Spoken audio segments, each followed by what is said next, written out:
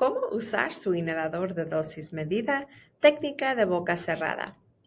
Su médico le ha recetado un medicamento que viene en un inhalador de dosis medida.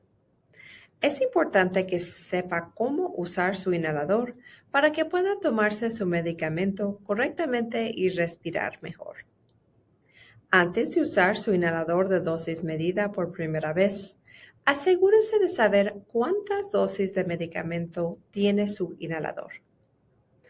Lleve un registro de cuántas dosis de medicamento toma cada día para que sepa cuándo surtir su medicamento. Antes de usar su inhalador de dosis medida por primera vez, lea las instrucciones de preparación en el paquete. Para usar su inhalador de dosis medida, Siga estas instrucciones. Retire la tapa de su inhalador. Asegúrese de que su inhalador esté limpio. Agite bien el inhalador tres o cuatro veces para mezclar el medicamento. Siéntase derecho o póngase de pie. Mantenga su inhalador alejado de su cara y luego exhale por completo.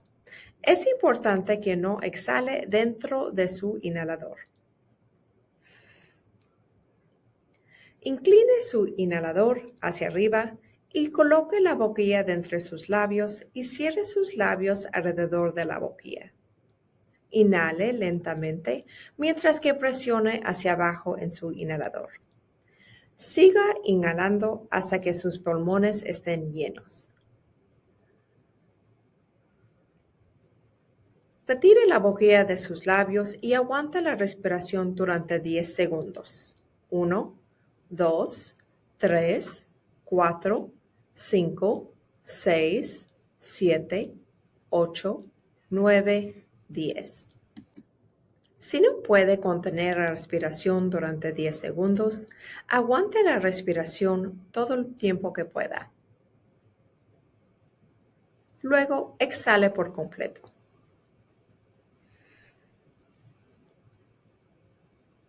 Si necesita tomar otra dosis de medicamento, espere un minuto.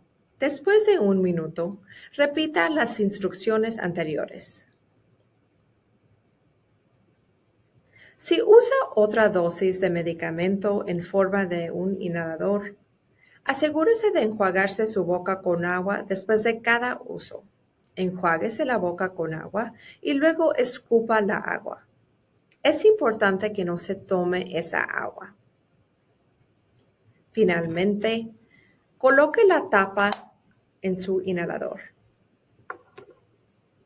Use las instrucciones proporcionadas en el paquete para limpiar su inhalador una vez por semana.